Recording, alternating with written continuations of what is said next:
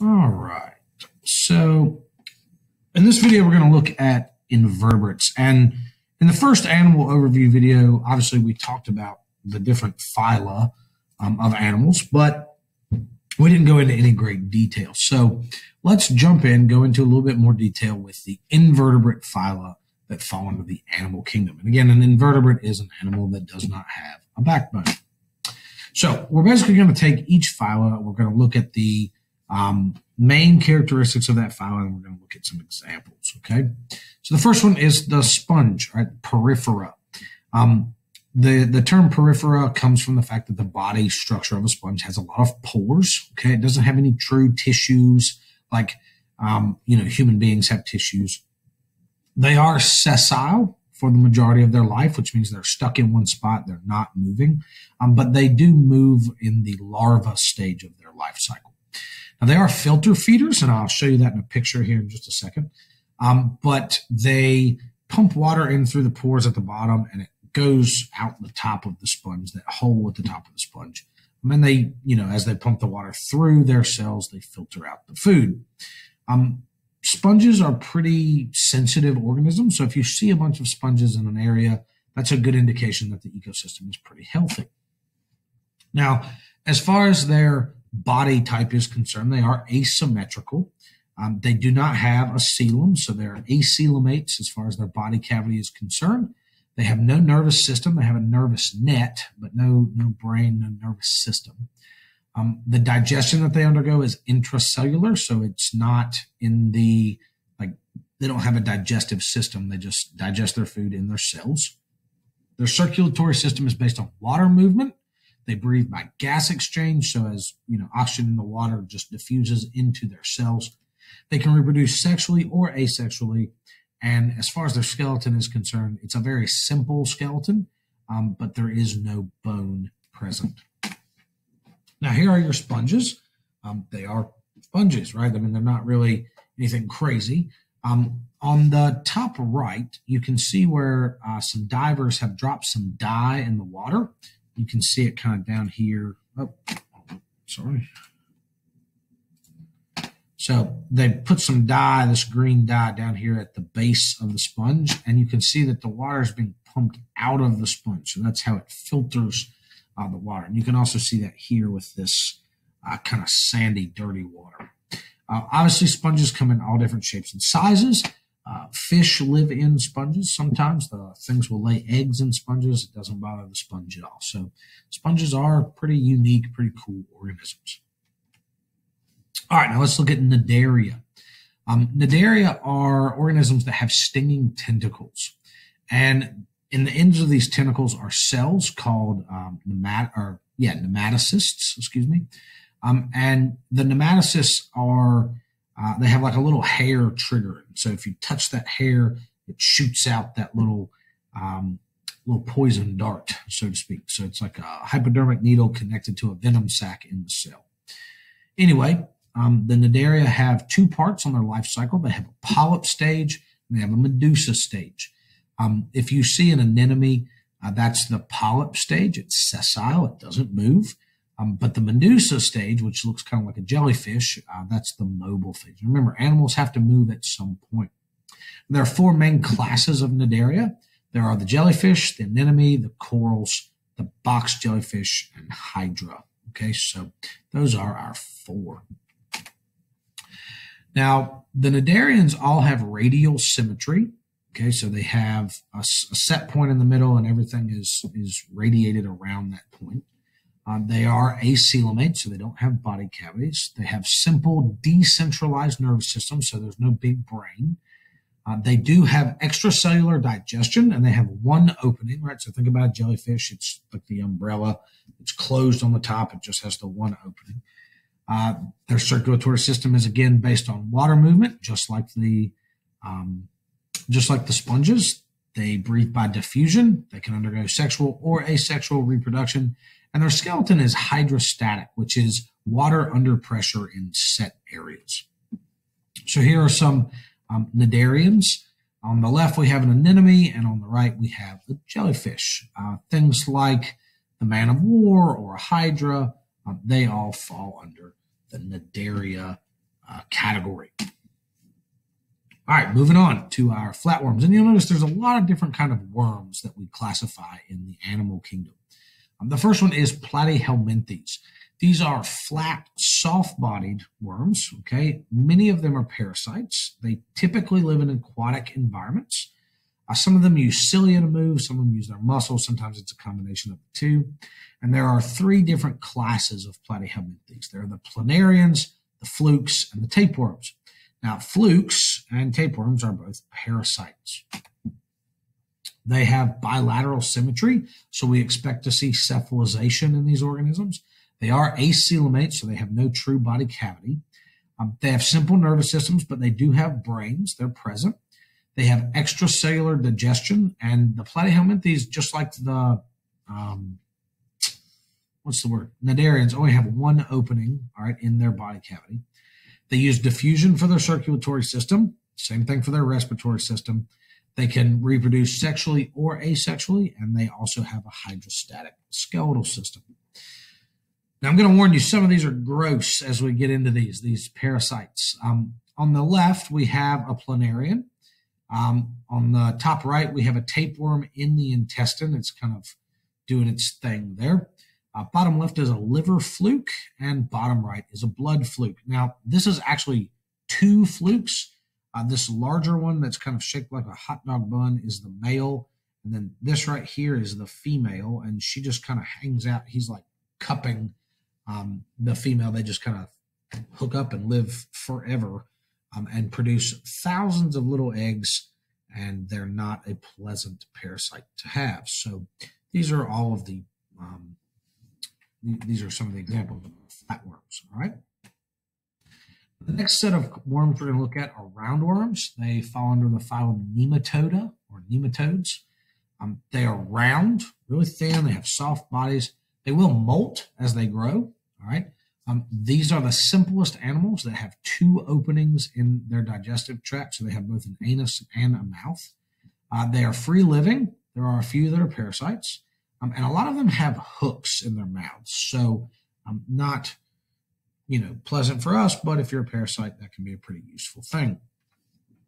They have bilateral symmetry, so we expect cephalization. They are pseudocoelomates, so this is slightly different, right? They have a pseudocoelom, um, a, a false body cavity is what that means, but there is a cavity there. Um, they have ganglia, which is like a brain. It's a little smaller than a brain, but it is still a simple nervous system. They do have an extracellular digestion, so there is a digestive tract in these organisms.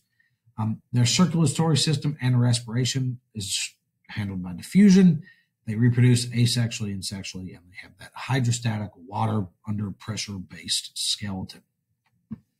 Here are some of our uh, nematodes. So on the left, we have top left, we have a hookworm. All right, that can get into your foot. Typically, they're very unpleasant. Um, you can look up some gross pictures if you really want to. On the right, there are pinworms. The top right, those little white things in the um, lower intestinal wall there. And then at the bottom right, we have trichinella. And if you ever heard of trichinosis, which is what you get from eating like undercooked pork, uh, that is the organism that is responsible for trichinosis.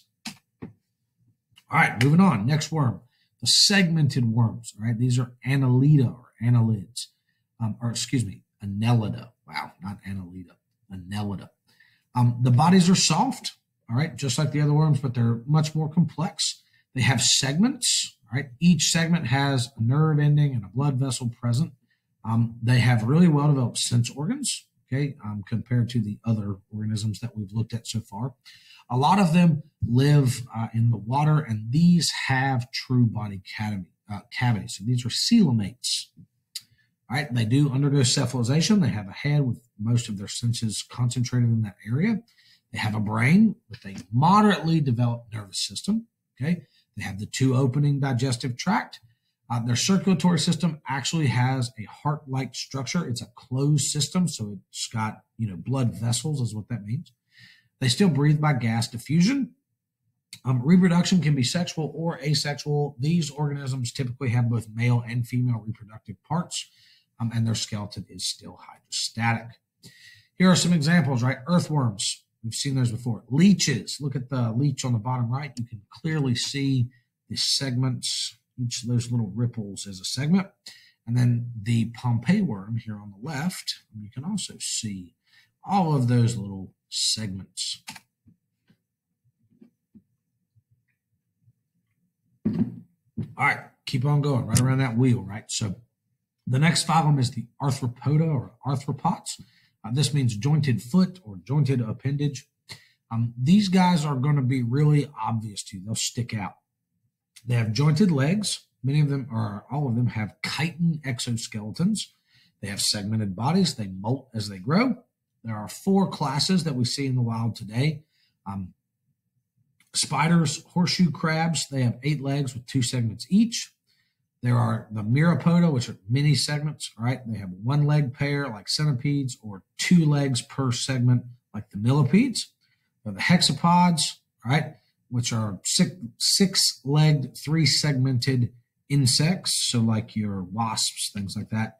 And then there are the crustaceans, all right? Um, they're going to have a hard exoskeleton and two pairs of antennae. They have bilateral symmetry, so we expect cephalization. They are coelomates, so they do have a body cavity. They have developed brains and nervous systems. They have the two opening digestive tract. Right? They have true hearts. And these are the first ones that are not going to breathe uh, by diffusion. So they have simple lungs or air tubes, and that's how they get their oxygen through their body.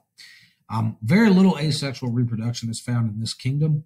And um, so, so primarily they reproduce by sexual reproduction.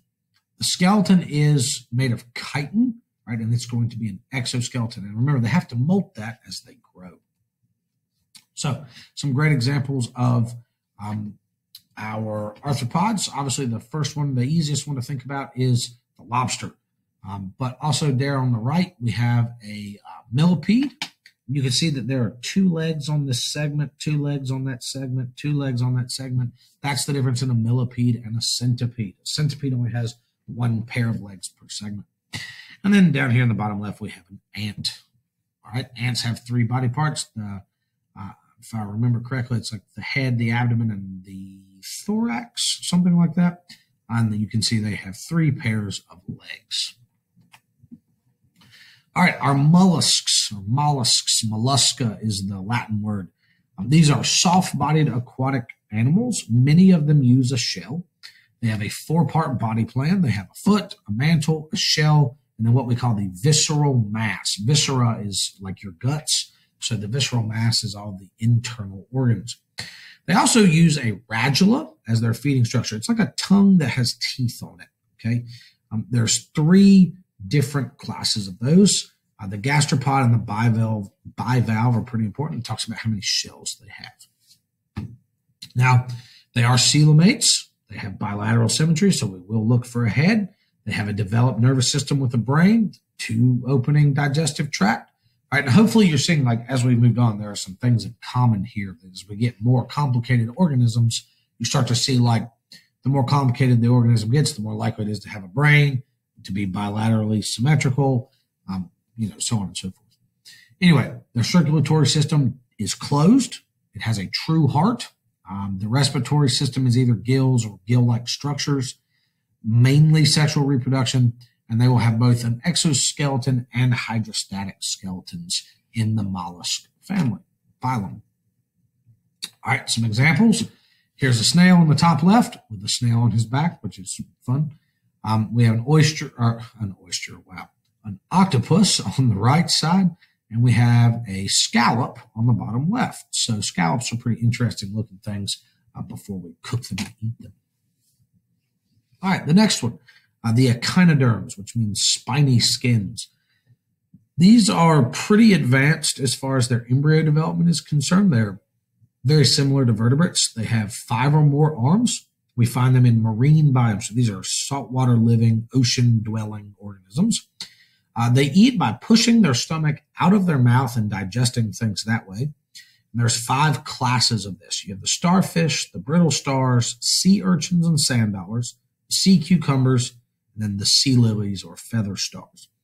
They have really cool powers of regeneration. So, like, uh, if you ever keep if you ever keep a saltwater tank, you will invariably get brittle starfish in them. They will get sucked into your pump and get absolutely shredded and then they will just regrow, and you'll get like 15 brittle starfish, and then they'll get sucked in the pump and shredded, and you'll have 100 starfish. It's just constant. The brittle stars um, are really kind of annoying if you're doing a saltwater tank. Now, as far as their body type, echinoderms have radial symmetry. They are coelomates. Um, their nervous system is pretty simple, though. There is no brain. Uh, starfish do have a neural ring, which goes around the middle of the um, starfish, and then there's a branch that goes into each arm. But um, as far as a really complicated brain, not really there. They do have two opening digestive tracts. Uh, their circulatory system is pretty unique. It is based on a water vascular system, so water in tubes. They use gills or gill-like structures to breathe. Um, they undergo sexual reproduction normally, but asexual reproduction if they are regenerating, and they all have endoskeletons. And here you can see a bunch of echinoderms. So we have top left is a, I believe, a crown of thorns starfish. Uh, on the right there, this is the brittle starfish. Um, and at the bottom left, we have a sea urchin. There we go. All right. So those are all the invertebrate phylums. Much closer look than we did in the animal overview. In the next video, we'll look at the vertebrates. All right. But if you have any questions on these guys, uh, please reach out. Let me know.